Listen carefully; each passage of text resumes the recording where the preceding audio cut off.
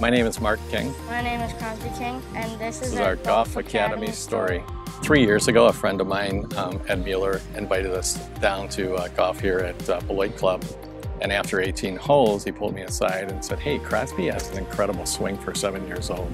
You should come up with our, our club pro, Travis Becker. So we did a one hour assessment with Travis and Travis has said, hey, he's ready to compete. So we uh, joined the junior PGA program and he was about this tall and all the other kids were this tall, but it was, uh, it was a great, great experience for him. And we've been taking lessons with Travis um, ever since and he's been in the junior PGA program for the last three years and loves every minute of it.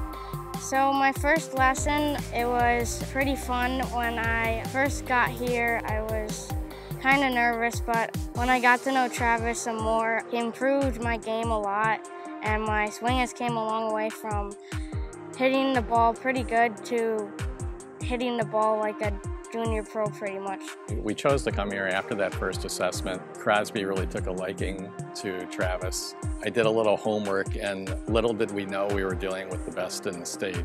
We live about 100 miles from here in Cedarburg, Wisconsin, and we continue to make the drive down here.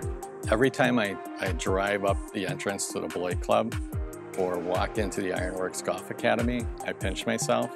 Just the venue that you're working with, the people you're working with, the technology you've got in front of you.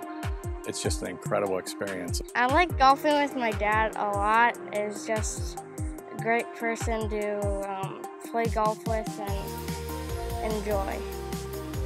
It's a little bit of a, um, a father's dream, and I remember my wife saying once, um, boy, you're sort of in your glory when you head out there with Crosby in a cart or walking the course. And I said, it is a lot of fun.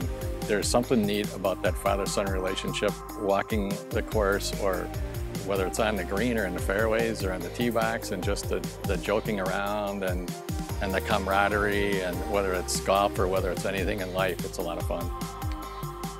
Let's go play. Let's go, let's hit them straight.